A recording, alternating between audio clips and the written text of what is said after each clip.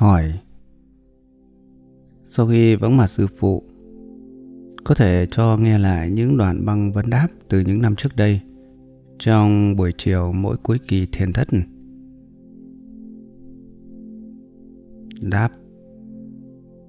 Nếu nghe là nghe những kỳ gần đây, Vấn đáp sắc hơn. Vì những năm đầu do lòng tin của hành giả chưa vững chắc, Nên tôi phải giảng dài dòng hơn. Còn bây giờ tôi nói ngay. Chỉ có hai điều. Tin tự tâm Và dùng cái không biết của nghi tình Chấm dứt tất cả biết. Mặc dù nghe tôi giảng như thế, Nhiều người cũng nói là hiểu lời tôi nói. Nhưng vì tập khí ham tìm hiểu, nhất là tìm hiểu câu thoại, trong đầu luôn muốn tìm câu trả lời, lọt vào ý thức. Ấy là sai. Tôi đã hỏi nhiều người đã dặn trước là hỏi phải trả lời liền, không cho suy nghĩ, không cho tìm hiểu, không cho chậm trễ. Nhưng khi tôi hỏi, vẫn chậm trễ muốn tìm câu trả lời. Cho nên những người như thế là tham không được, là sai. Người nào cũng bị. Hành giả tham thiền phải lưu ý điều này. Hỏi, ngài nguyệt khê nói phật tánh chẳng dính dáng đến vô minh. Vậy tại sao chứng đạo ca lại nói, thật tánh vô minh tức phật tánh đáp, phương tiện vốn chẳng thật. Nay muốn truy cứu phương tiện cho là đúng lý. Ấy là sai. Tất cả phương tiện đều vô lý. Ví như nói, từ vô thể đến nay. Có thể mới đến nay vô thị làm sao đến nay? Nói ra là sai rồi. Ví như nói kiến tánh. Nếu giải theo mặt chữ, cho là có cái tánh để thấy, là sai rồi. Phàm là lời nói đều chỉ là phương tiện, chẳng phải chân lý. Nên phật pháp khác hơn tất cả tôn giáo, là không kiến lập chân lý. Lời nói của ngài nguyệt khê cũng như lời của phật chỉ là phương tiện để phá chấp đâu thể chấp thật nói thật tánh vô minh tức phật tánh. Chẳng những vô minh, thật tánh của tất cả pháp đều là phật tánh, vì phật tánh bất nhị. Hỏi, tham thời đầu có phải cứu xét tự tánh không?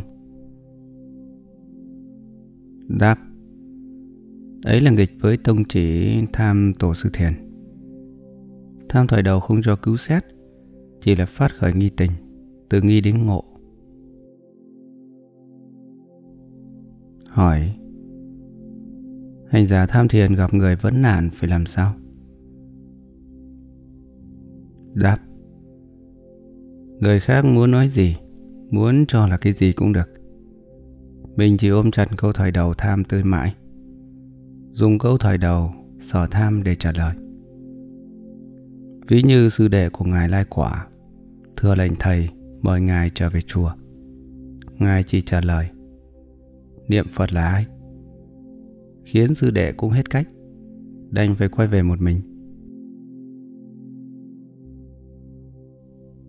Hỏi, Có người hỏi con, Tham thiền tại sao không tụng kinh con nên trả lời thế nào?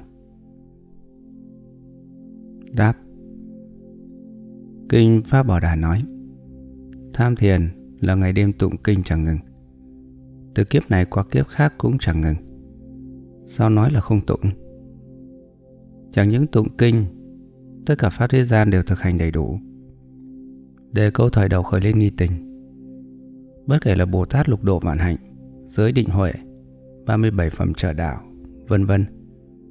Cho đến công thường kỹ nghệ nơi thế gian đều đầy đủ, chẳng thiếu sót. Có thiếu sót, tức Phật tánh không cùng khắp. Cho nên chư tổ đối với Pháp thế gian và Pháp xuất thế gian chẳng hai chẳng khác, vì tất cả đều gồm trong nghi tình rồi.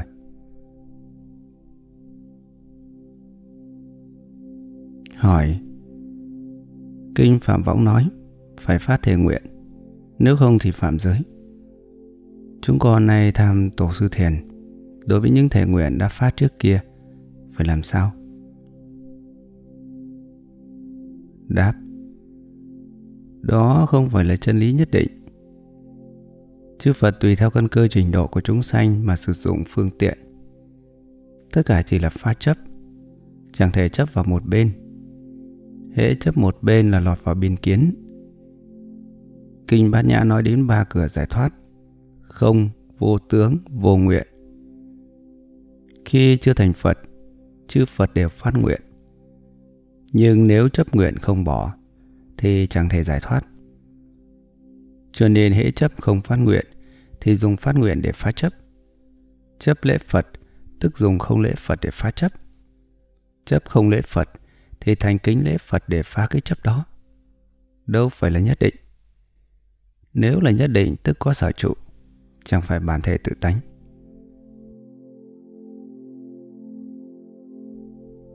Hỏi, Thấy nghi tình mãnh liệt, Muốn ra sức dụng công trong 7 ngày, Việc ấy ra sao? Đáp,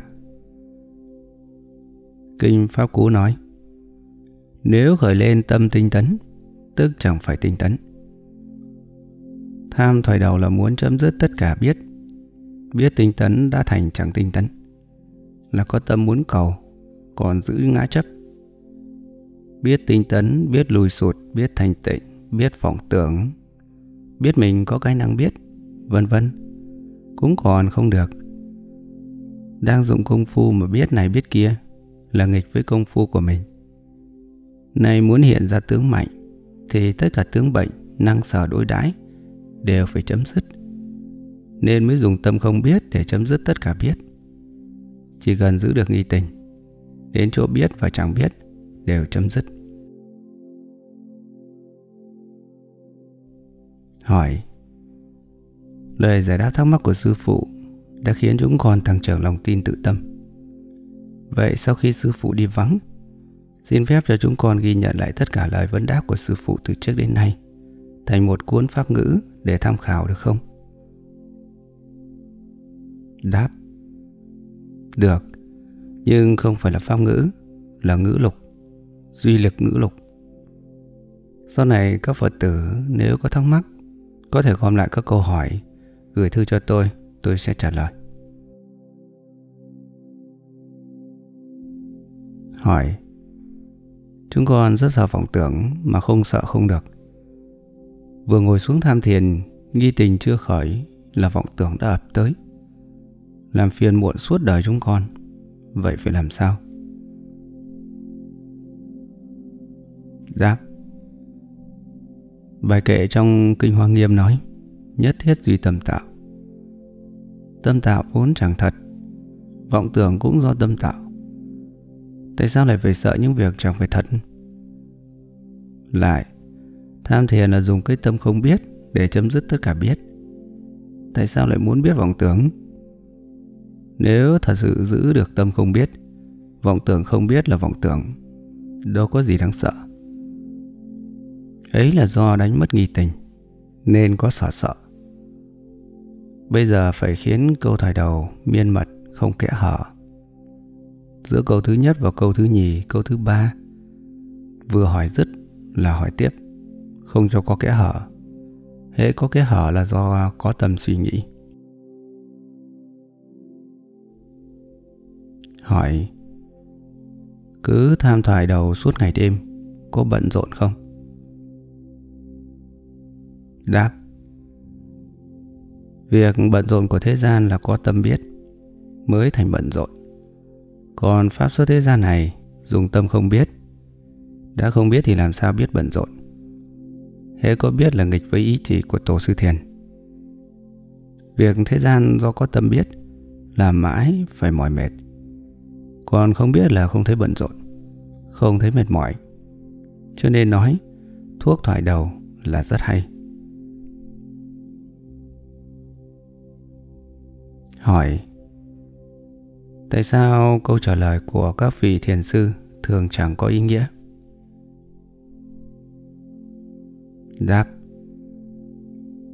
Các vị thiền sư thường hỏi Nam trả lời Bắc, Là muốn chấm dứt sự tìm hiểu của người hỏi, Muốn bật chi kiến của người hỏi, Nên trả lời không nghĩa lý Do người hỏi thường mắc phải lý chướng, Nên có đúng lý hay không đúng lý, Ấy là nhị và tánh bất nhị chẳng đối đãi Nên chẳng có hợp lý hay không hợp lý. Ví như Bát Nhã Tâm Kinh nói Vô nhãn nhĩ tỷ thiệt thân ý Vô trí diệt vô đắc.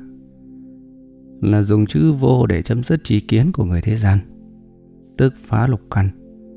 Cho đến những trí kiến xuất thế gian Như A-la-hán, Bích Chi Phật, Bồ Tát Tất cả trí kiến đều dứt sạch Mới được gọi là trí kiến Phật.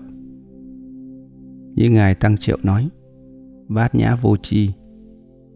Luôn cả vô tri cũng tàn dã. Chi với vô tri đều hết. Tức tác dụng của bộ não chấm dứt. Bệnh mù hết rồi. Cái biến trơn như Phật tánh mới hiện ra, Khắp không gian thời gian.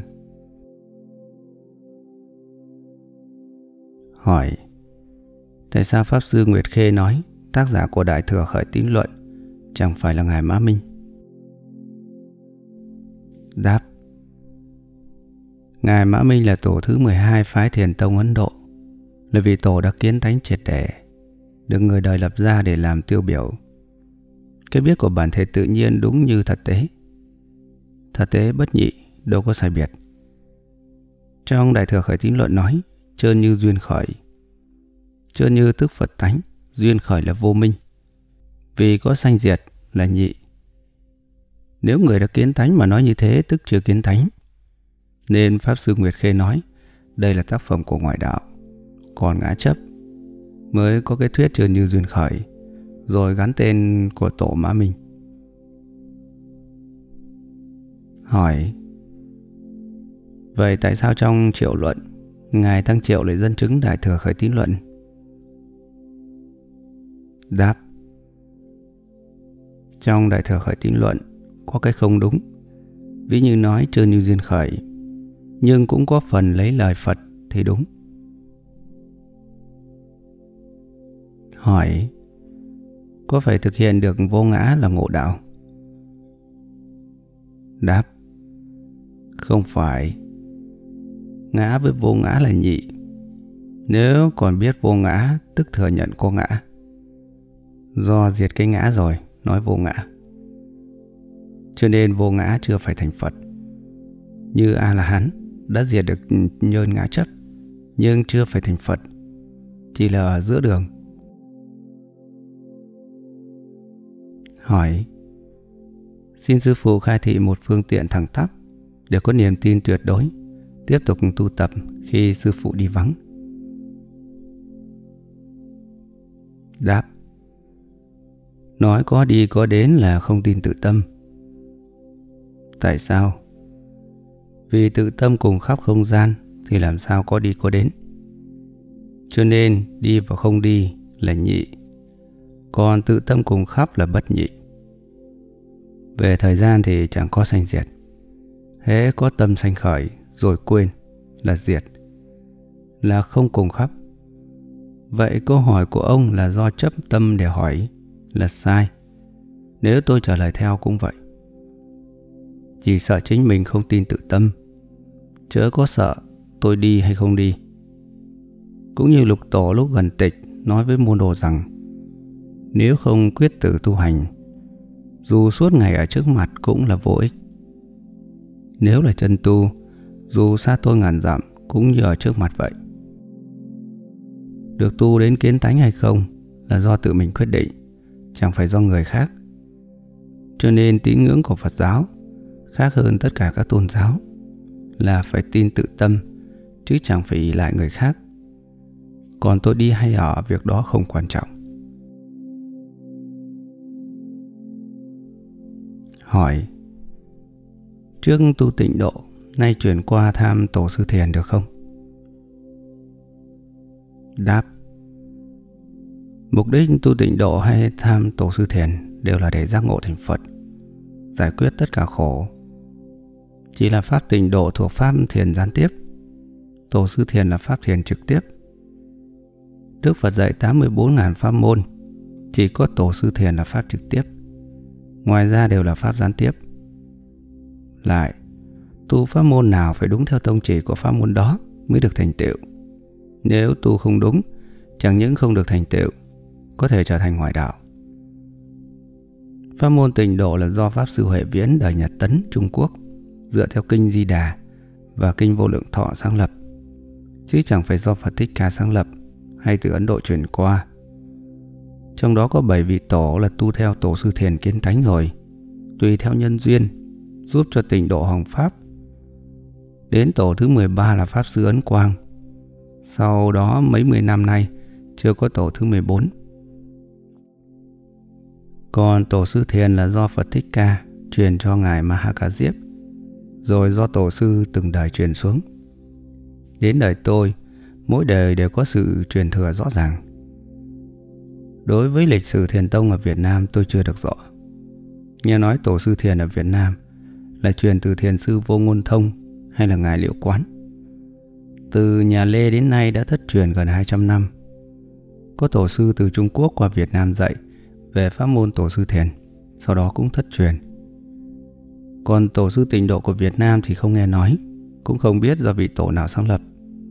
Đa số do tự mình xem sách. Nhiều người tự lấy ý mình tu, cho tụng kinh niệm Phật là tu tịnh độ. Còn hỏi về tông chỉ của tịnh độ thì nói là tụng kinh niệm Phật ăn chay phát nguyện. Sự thật tông chỉ của tịnh độ là tín, nguyện, hành. Hỏi, vậy có tông chỉ của tịnh độ không? Đáp, theo Phật Pháp, nguồn gốc của bản thể là Phật tánh. Đức Phật gọi là trơn như Phật tánh.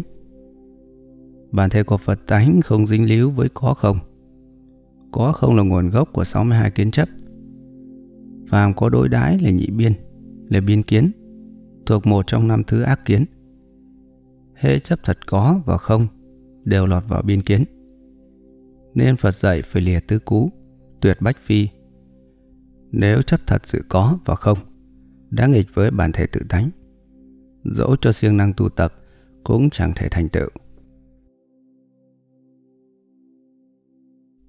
Hỏi Thiền tông và tỉnh độ một thể, phải không?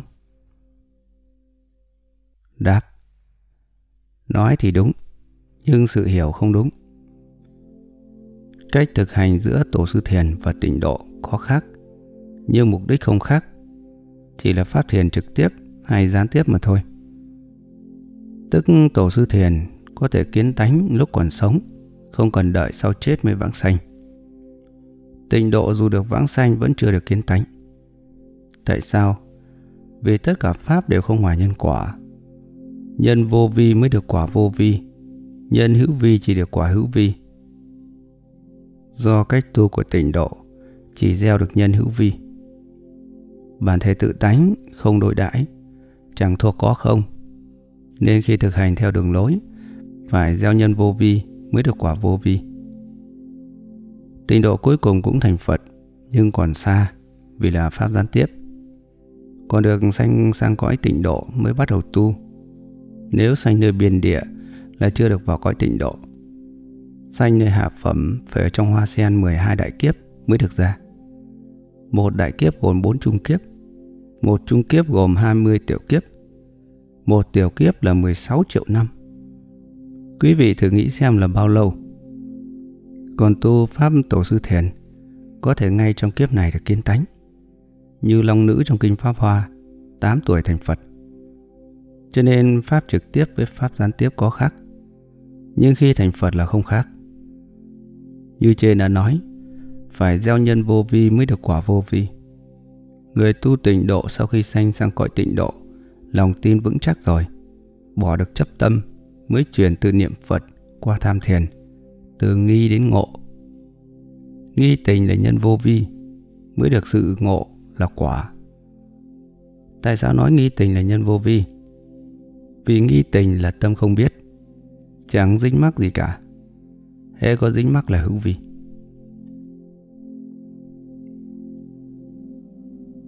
hỏi trong kinh duy ma cật lúc ngài duy ma cật bệnh tại sao hàng đệ tử của phật không ai dám đi thăm bệnh đáp ấy là muốn tỏ bày bệnh của chúng sanh hay chấp thật chấp có Phật, chấp không Phật. Bất cứ chấp vào cái gì đều là bệnh. Nói tất cả chúng sanh đều có Phật tánh.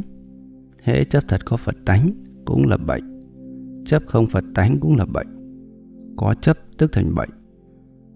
Do đó Phật Thích Ca vừa thuyết liền phá. Chỉ vì sợ chúng sanh chấp thật vào đó, khiến chẳng được giải thoát. Trong kinh Duy Ma Cật mọi người khó hiểu nhất về đoạn tu Bồ Đề không xứng đáng đi thăm bệnh. Tu Bồ Đề đến nhà Duy Ma Cật khất thực. Ngài lấy bát đựng đầy cơm, nói với tu Bồ Đề. Này tu Bồ Đề, đối với sự ăn bình đẳng thì các pháp cũng bình đẳng. Các pháp bình đẳng, sự ăn cũng bình đẳng. Khất thực như thế mới được lấy ăn. Lại nói, nếu tu Bồ Đề chẳng thấy Phật, chẳng nghe Pháp, ngoại đạo là thầy của ông. Vì họ xuất gia bị đọa, ông cũng đọa theo, mới được lấy ăn. Chỗ này nhiều người chú giải kinh muốn đem những đoạn văn phi lý trên giải thành có lý, đều đã hiểu sai lầm. Kỳ thật đoạn này là do Tu Bồ Đề và Duy Ma Cật hợp tác để diễn tả lại nghĩa văn tự tánh không. Tu Bồ Đề chẳng phải không biết, nhưng muốn thị hiện việc sợ hãi bỏ chạy để Ngài Duy Ma Cật diễn tả về văn tự tánh không. Nên Ngài nói, này Tu Bồ Đề, cứ lấy bát đi đừng sợ. Ý ông thế nào? Nếu đem việc này hỏi người huyễn hóa của Như Lai làm ra, người ấy có sợ chăng? Không ạ. Tất cả các pháp tướng như hiện hóa, tất cả ngôn thuyết đều chẳng lìa tướng hiện hóa.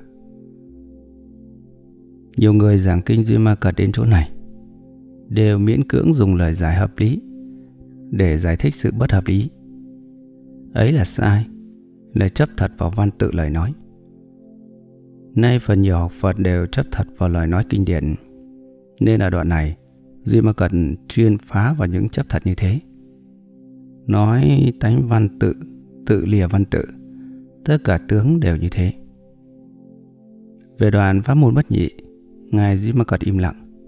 Bồ Tát Văn Thù tán thán là chẳng có lời nói văn tự mới là trơn nhập pháp môn bất nhị.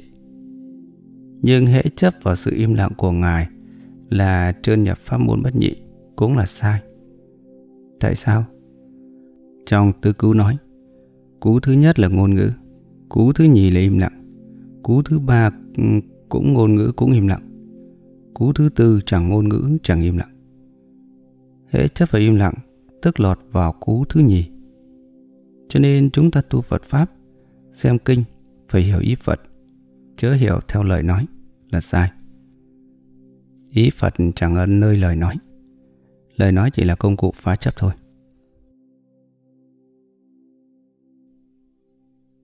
Hỏi Con trùng đứt làm hai Thì tánh nó ra sao? Đáp Bản thể tự tánh khắp không gian thời gian Đâu thể ở khúc này hay khúc kia. Nếu có ở khúc này hay khúc kia Là không cùng khắp, Chẳng phải bản thể tự tánh. Hỏi, Tham thiền vô ngôn thuyết Lấy gì để dạy người? Đáp, Vô ngôn thuyết là bản thể. Cách thực hành chẳng phải là bản thể, Là để đi đến bản thể. Ở trên đã nói Im lặng vẫn còn không được. Như Kinh Kim Cang nói Do vô vi mà có sự sai biệt của các bậc thanh hiền. Vô vi làm sao có sai biệt? Thế nào là sai biệt? Tại chưa đến chỗ vô vi Đang đi trên đường đi. Nên có đủ thứ sai biệt. Sai biệt thế nào? Giáo môn từ thập tín, thập trụ, thập hạnh, thập hồi hướng, thập địa cho đến đẳng giác. Đến diệu giác là chỗ vô vi rồi. Đâu còn sai biệt.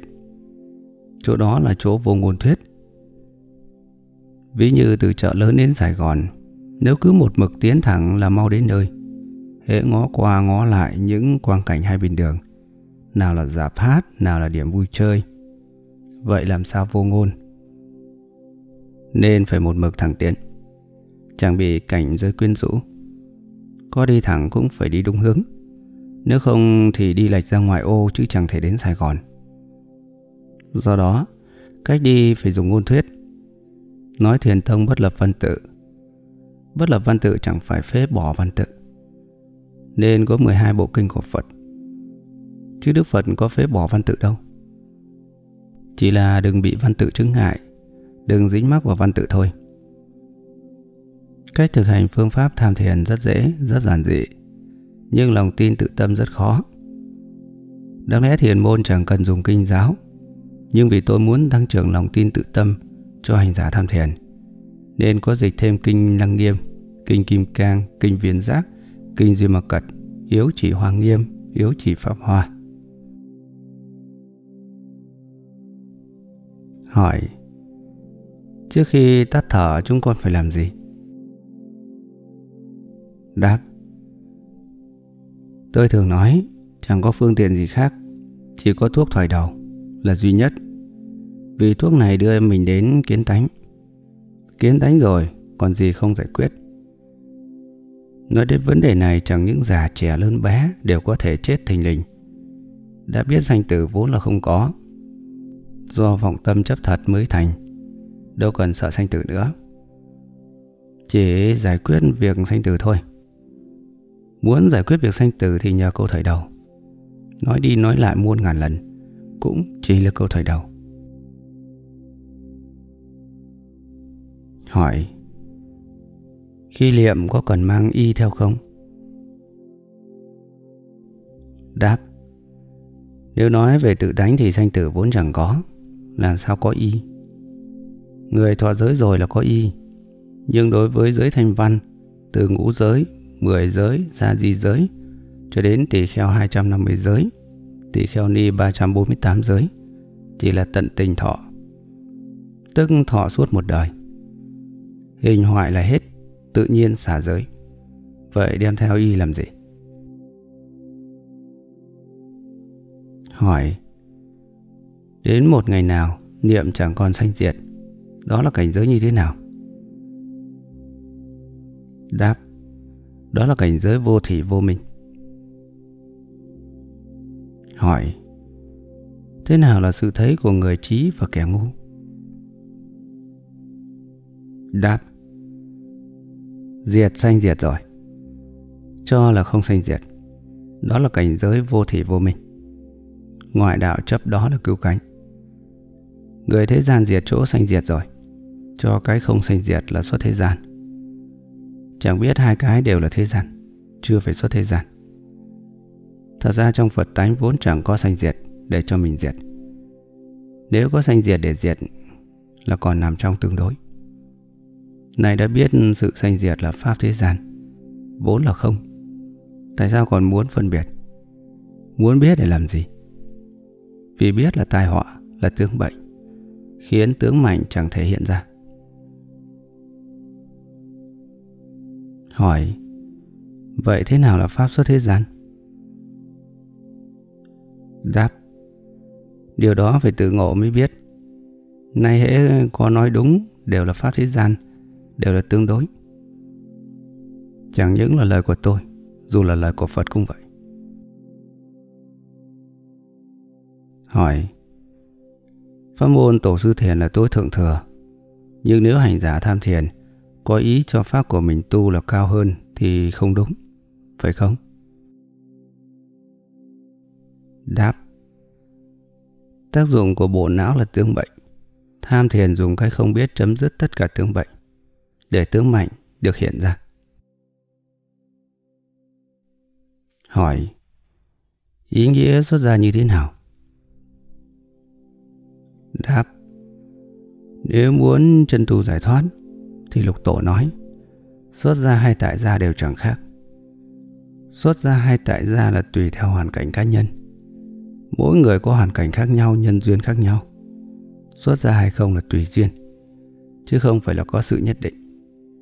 Chẳng cần để tâm nhiều khiến chướng ngại. Còn nói đến công đức lợi ích Thì theo kinh Dương mật cật Xuất gia chẳng nói về công đức lợi ích. Trong truyền đăng lục Từ ông vua thừa tướng quận trưởng tỉnh trưởng, đến tay bưng vai gánh, bán ra ngoài phố. Người gì cũng có thể kiến thánh. Kiến thánh rồi Cũng chẳng bỏ nghề. Vua vẫn làm vua, Thừa tướng vẫn là thừa tướng. Đâu cần xuất gia mới tu được. Hỏi, Trong các kinh đại thừa liễu nghĩa, Đều có một vị đại diện đương cơ để hỏi Phật. Riêng trong kinh Duy Ma Cật Ngài Duy Ma Cật là một cư sĩ tại gia lại dám phê bình các vị đại thánh tăng về khuyết điểm này, khuyết điểm kia, vân vân. Vậy ngài là ai? Chắc chắn là chẳng phải tâm phàm phu chúng con có thể biết được. Đáp Duy Ma Cật là một vị cổ Phật Thị hiện Bồ Tát trụ Pháp bất khả tư nghì Hơn các bậc Bồ Tát thượng thủ của Phật Thích Ca Đầy đủ tất cả phương tiện trí huệ Để dẫn dắt chúng sanh vào đạo Bồ Tát chân thật. Nếu là cư sĩ phàm phu đâu có trí huệ năng lực và phương tiện như thế.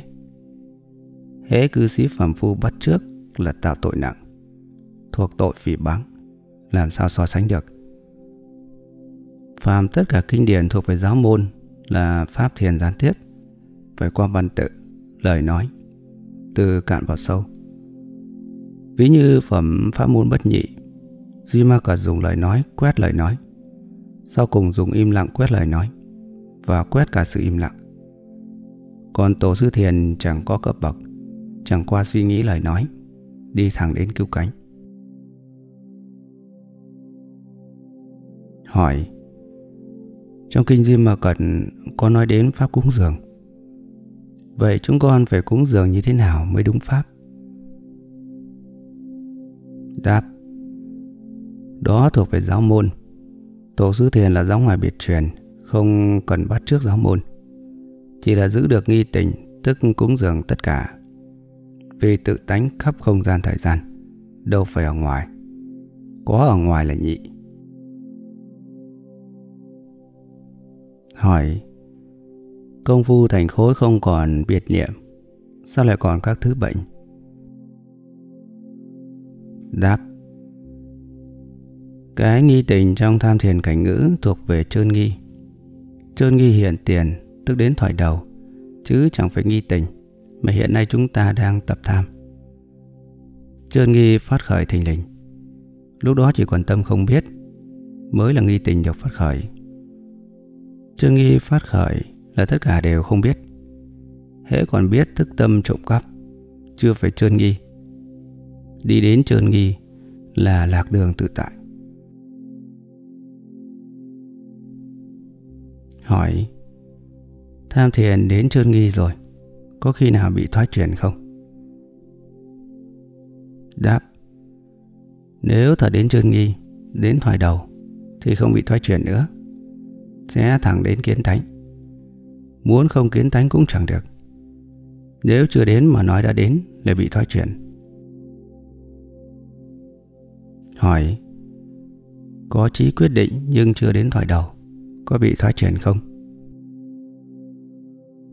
Đáp, Chưa đến trường nghi, Gặp nhân duyên có thể bị thoái chuyển Nhưng chỉ một thời gian nào thôi, Không bị thoái chuyển luôn Vì tránh nhân đã gieo Thì tránh quả sẽ đến Hỏi, Người tham thiền hay bị lạc vào các lối rẽ Gặp những trường hợp đó, làm sao biết được? Đáp. Tôi thường nói, Chữ biết là cửa của tất cả tai họa. Chỉ cần giữ cái không biết Mới không lọt vào lối rẽ. Nên tổ sư thiền cần có nghi tình. Đã không biết, Thì làm sao biết lọt vào lối rẽ hay không? Hỏi. Người tham thiền có rơi vào sự chướng và lý chướng không? Đáp, nếu có biết là rơi vào hai thứ trên. Nếu không biết thì làm sao có cái hợp lý hay chẳng hợp lý? Mà nói lọt vào lý chướng. Vì không biết thì chẳng đối đãi. Tự nhiên chẳng lọt vào cái nào hết. Hễ có biết là muôn ngàn sai biệt, Muôn ngàn đường lối. Chẳng lọt vào cái này cũng lọt vào cái kia. Hỏi Trong triệu luận Nói bát nhã quán không và phương tiện quán hữu như thế nào? Đáp Triệu luận thuộc giáo môn nói phương tiện và trí huệ phải đi đôi mới là đại huệ. Đó là đối với người hoàng pháp, có trí huệ phải có phương tiện. Kỳ thật nói phương tiện và trí huệ phải đi đôi là trong kinh Duy Ma Cật. Rồi Ngài Tăng Triệu dẫn chứng trong triệu luận mà thôi. Chính Ngài Tăng Triệu do đọc kinh và dịch kinh Duy Ma Cật phát trí huệ. Mới biết hồi xưa học về thuyết của Lão Trang chưa cứu cánh. Ngài có những thiên tài diễn tả những gì người khác chẳng diễn tả được. Mặc dù diễn tả được nhưng đều là pháp gián tiếp, phải qua bộ não suy nghĩ. Đối với giáo môn thì được, đối với thiền môn còn cách xa lắm. Nói bát nhã quán không và phương tiện quán hữu là phần diễn tả. Tự tánh luôn luôn như thế, chẳng có quán không và quán hữu. Người tu thiền quán của giáo môn như Tông Thiên Thai là quán không, tức không quán, cũng gọi là Samatha. Quán hữu là giả quán, tức Tama Bát Đề. Quán trung đạo là thiền na, thuộc pháp thiền gián tiếp. Còn thiền môn rất giản dị, chẳng quán không cũng chẳng quán hữu, chẳng quán trung đạo, chẳng năng quán sở quán. Chỉ cần khởi lên nghi tình, không hiểu không biết, là bao gồm tất cả kinh điển, giáo môn, pháp thế gian, công thường kỹ nghệ, pháp xuất thế gian, thừa thanh văn, duyên giác, Phật, vân vân. Có với không đều không biết, chẳng năng sở đối đái, thẳng vào chỗ cứu cánh, nên chẳng lập phương tiện, cũng chẳng nói đến trí huệ.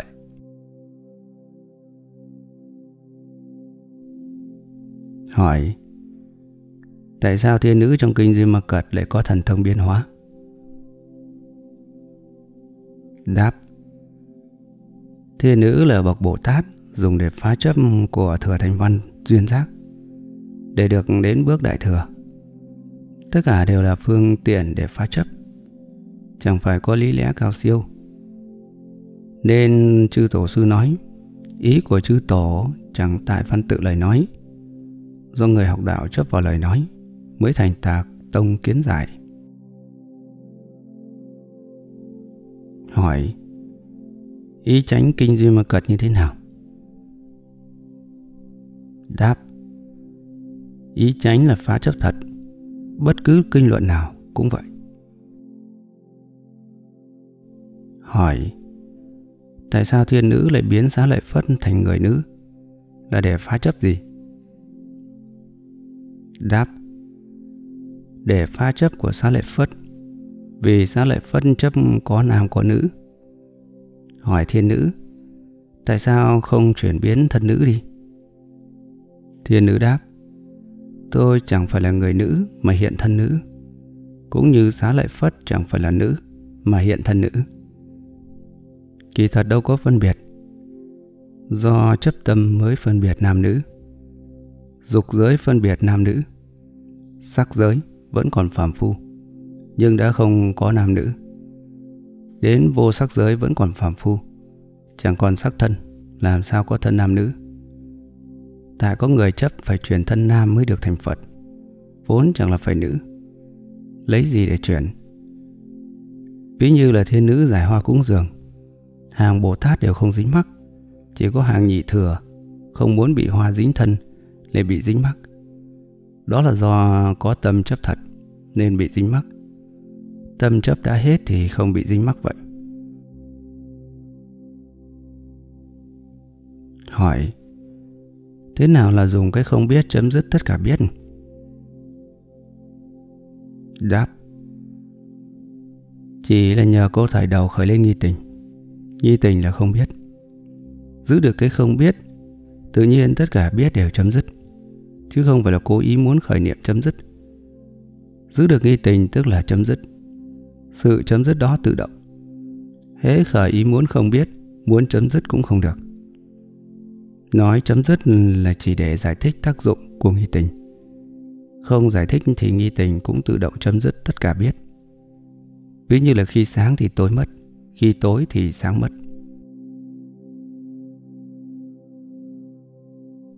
hỏi, Thế nào là khảo công phu sau mỗi kỳ thiền thất? Đáp, Khảo là khảo sát. Theo quy củ của thiền đường, Sau một kỳ thiền thất là khảo sát công phu, Xem có thật sử dụng công hay không.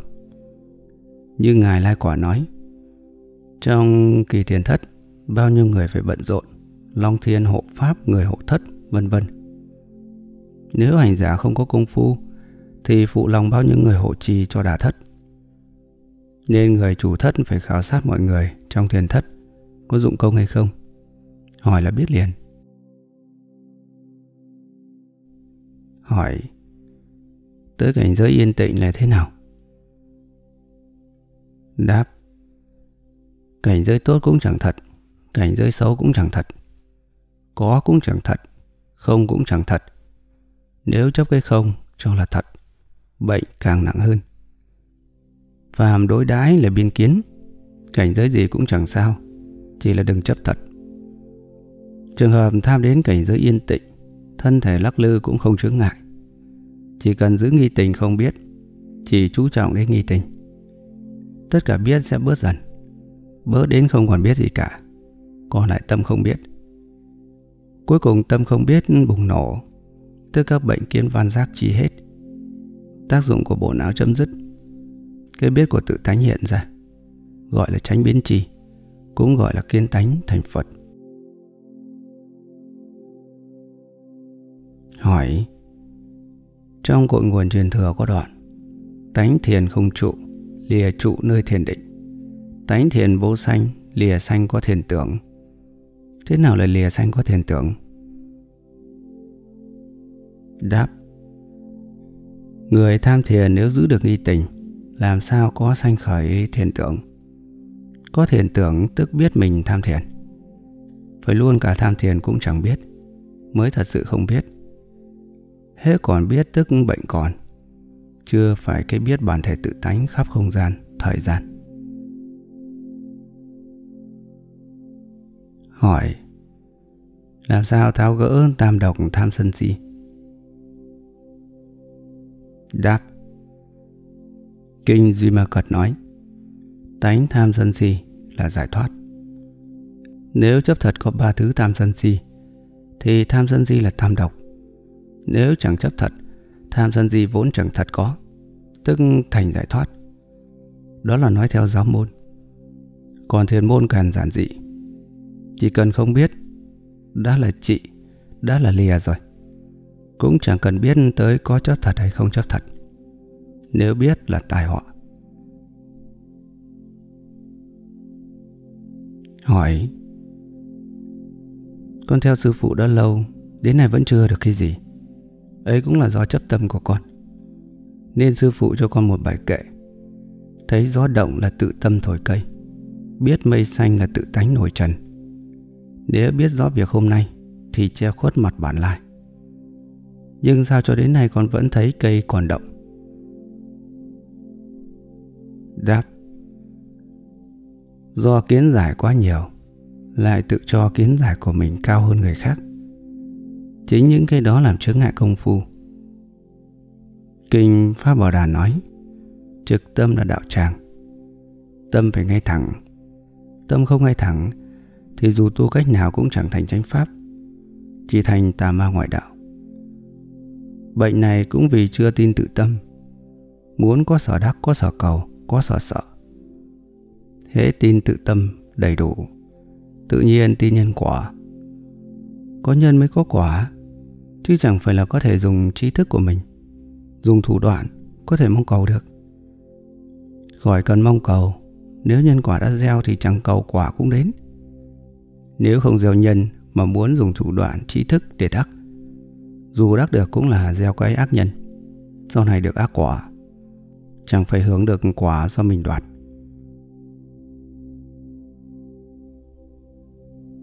Hỏi, dụng công thế nào mới được thâm nhập công phu?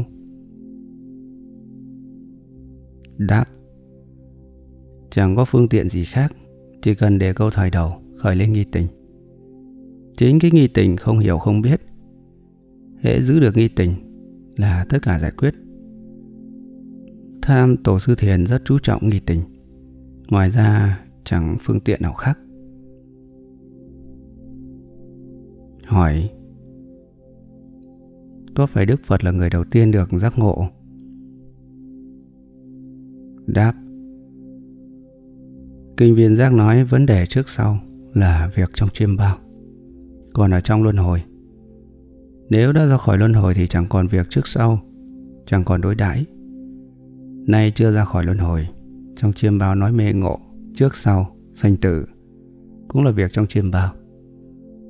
Cứ đem việc chiêm bao nghiên cứu mãi Cho là hợp lý hay không hợp lý Là việc đáng buồn cười Vì vốn chẳng có thật. Nên chư Phật chỉ muốn chúng ta thức tỉnh Để không còn bị lý chướng. Hỏi, Chúng con có thể tự giác ngộ hoặc lý bắt buộc phải có thầy? Đáp, Chẳng có lý bắt buộc. Trong kinh viên giác nói, Thừa thanh văn, Nghĩa là do nghe âm thanh của Phật mà giác ngộ. Còn bích chi Phật, Nghĩa là độc giác, Phải tự mình giác ngộ. Chính Ngài Lục Tổ nói, Tự tánh mình sẵn có thiện trí thức. Cũng có người chẳng nhờ thầy thuốc mà hết bệnh. Nhưng nay do chấp tâm quá nặng, Phải có thầy thuốc mới được hỏi, Tại sao có những sách giác ngộ? Tác giả nói, Nếu có sơ sót, xin hãy chỉ giáo cho Đã là sách giác ngộ, Tại sao còn sơ sót? Đáp, Chớ nói là sách của phàm phu, Dù là kinh Phật vẫn còn có sơ sót Lại khi in Phải qua khâu sắp chữ Khâu in Làm sao tránh khỏi sai sót Chính từ câu nói của Phật cũng còn mâu thuẫn.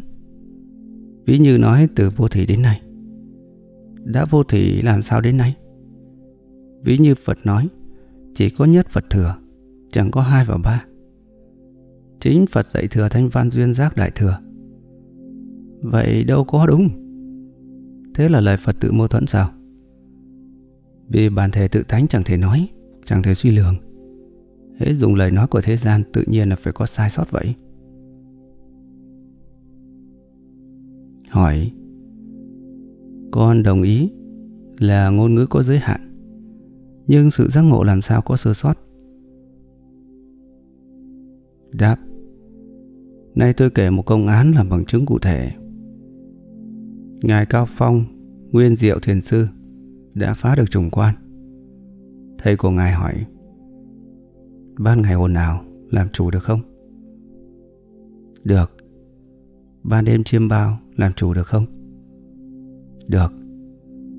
Lúc ngủ mê chẳng chiêm bao Chẳng suy nghĩ Chủ ở đâu? Ngài trả lời không được. Thầy bảo Từ nay về sau Chớ học thiền học đạo Cứ đói ăn, mệt ngủ khi thức giấc rồi, Phải tự hỏi, Nãy giờ ngủ mê chẳng chiêm bao, chủ ở đâu? Như thế tham thêm 5 năm. Một hôm đang ngủ, Người đồng tham ngủ bên cạnh, Đánh rơi chiếc gối phát ra tiếng, Khiến ngộ triệt đẻ Mới đến mặt hậu lo quan Trước kia do bị sự ngộ của trùng quan chướng ngại, Chẳng thể đến lao quan. Nay sự ngộ ấy tàn giã Mới đến được lao quan Người đã triệt ngộ do giữ sự ngộ còn không được. Nay ông chưa ngộ, cứ muốn ôm cái ngộ đó, làm sao được? Kinh vốn chẳng đúng sai, do ông chấp thật, cho là kinh phải đúng, nên mới thành sai. Ấy là tâm của ông sai. Trong kinh Pháp Bảo Đàn, có người hỏi lục tổ. Pháp của Huỳnh Mai, người nào được? Đáp, người ngộ thì được. Tổ có được không? Đáp, Tôi chưa ngộ. Nếu chấp thật, Thì lục tổ nói đúng hay sai? Cho nên đuổi theo lời nói Là con chó đuổi theo cục xương. Thế tôi trả lời theo câu hỏi của ông Cũng là sai. Tổng lâm Trung Quốc Là người nào đến ở cũng được. Người ở lại Tổng lâm gọi là thường trú. Mọi người như là người chủ trong chùa. Bất cứ ở lại một ngày, mười ngày hay mười năm Tất cả quyền lợi và nghĩa vụ đều bằng nhau. Đến khi nào đi khỏi mới thôi. Trụ trì của chùa thường là người được kiến tánh Do quan chức địa phương thỉnh về Làm chức vị chủ trì.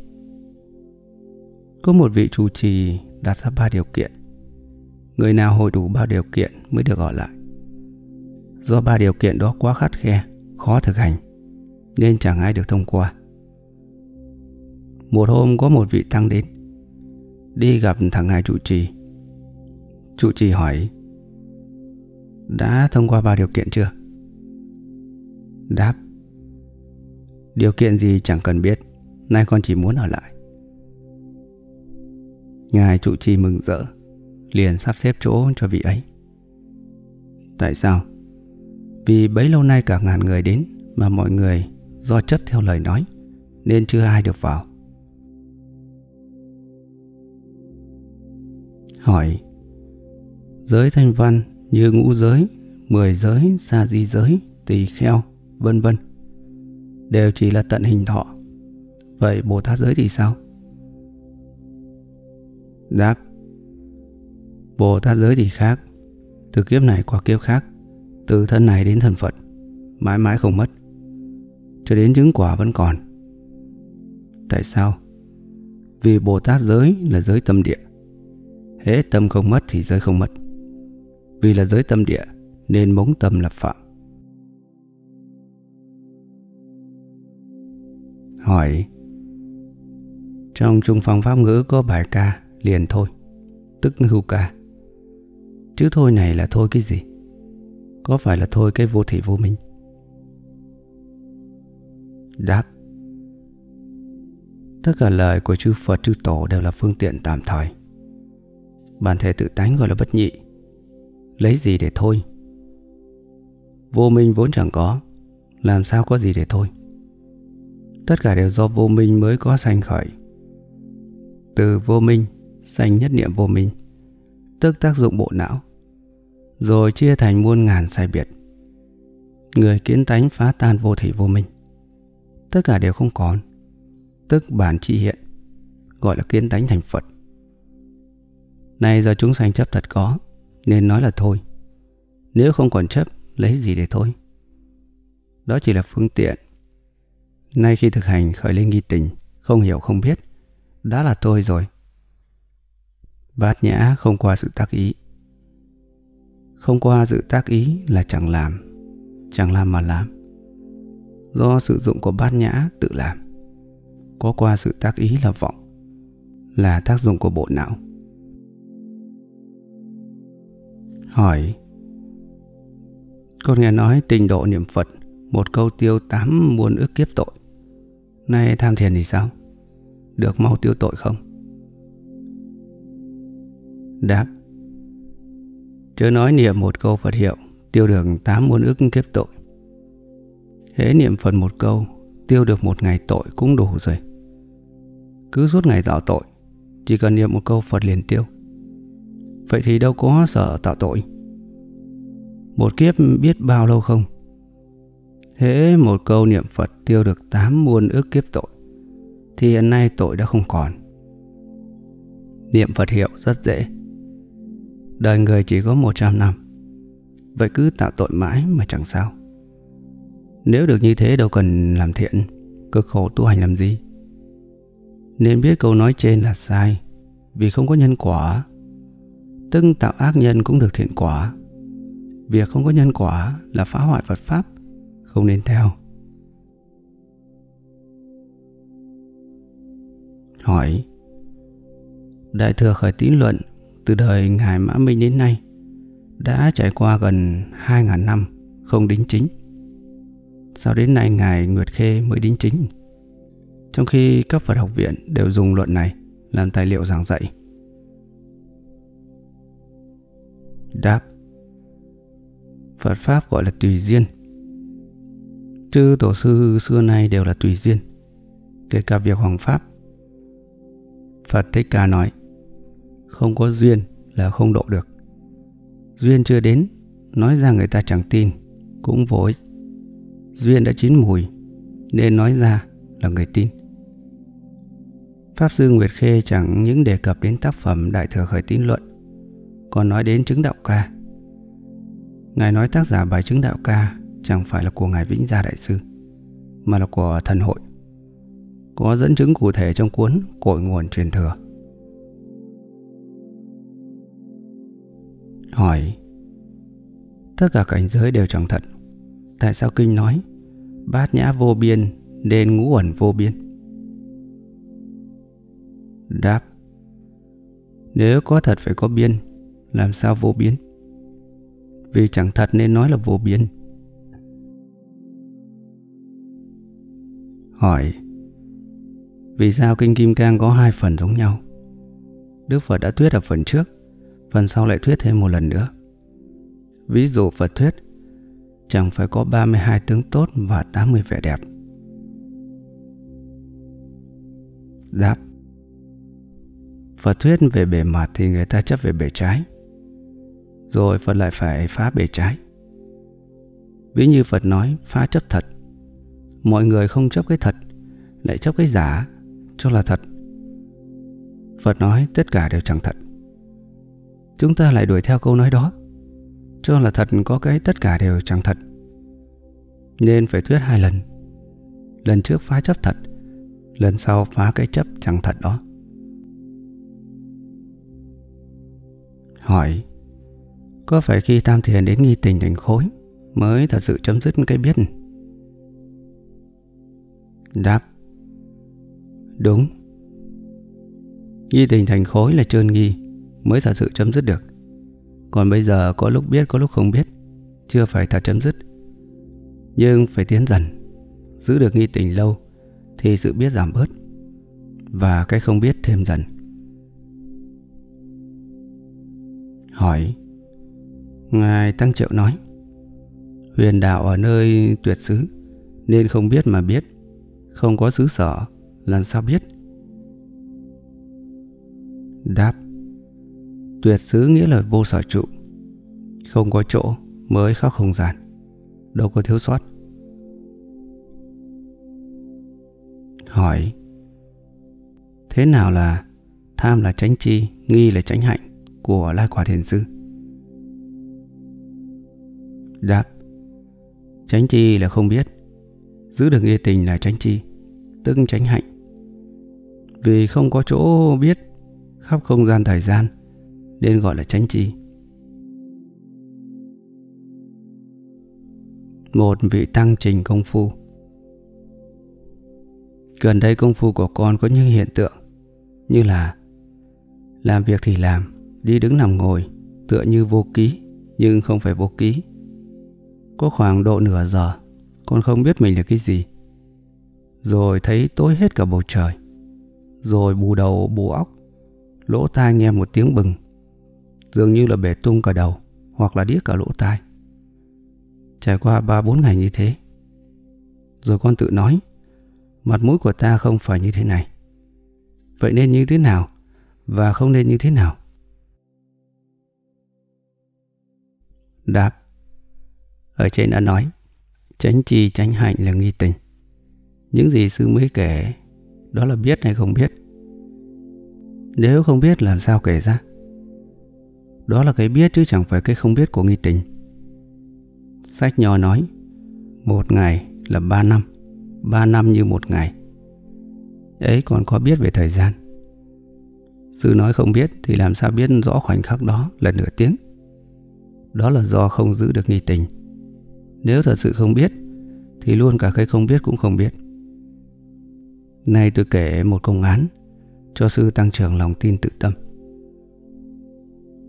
Ngài Đại Huệ là vị tổ sư danh tiếng, dù đã kiến tánh nhưng chưa ra hoàng pháp chính thức. Lúc Ngài còn làm thủ tọa ở một tòng lâm, vì Ngài đã kiến tánh nên được mọi người ghi lại tất cả lời nói thành ngữ lục. Trong đó có một vị tăng đang đọc ngữ lục của Ngài được giải ngộ. Mừng rỡ tưởng đã chứng ngộ. Bèn tìm đến Ngài để xin ân chứng. Nói Con xem ngữ lục của ngài được ngộ Nay đến trình sự ngộ của con. Đại Huệ nói Không phải, không phải Hãy đi đi. Tăng nói Con chưa trình ra Sao nói không phải? Đại Huệ nói Không phải, không phải. Tăng muốn nói hai ba lần mà ngài cứ đuổi đi. Vì hễ ngộ là lạnh nóng tự biết. Sao lại phải trình? Sự ngộ đâu phải là đuổi theo lời nói để trình. Hễ có trình tức chưa ngộ. Ví như sự ngộ của Ngài Lâm Tế. Sau khi ngộ, Lâm Tế đánh lại Huỳnh Bá. Vậy mà Huỳnh Bá cười ha hà. Ấy là trình sự ngộ. Đâu có kể. Về sự ngộ của thiền sư Nam Tuyền, Thầy của Ngài hỏi Hôm nay nấu cơm ăn đủ không? Ngậm cái miệng chó lại. Ấy là trình sự ngộ. Người đã ngộ đâu có vấn đáp gì. Thế còn kể ra là chưa đến ngộ. Là lý chướng, Là tác dụng của bộ não. Nay muốn đạt đến pháp yên ổn, Phải chấm dứt tướng bệnh. Cứ ôm tướng bệnh cho là đúng Thì làm sao đạt đạo?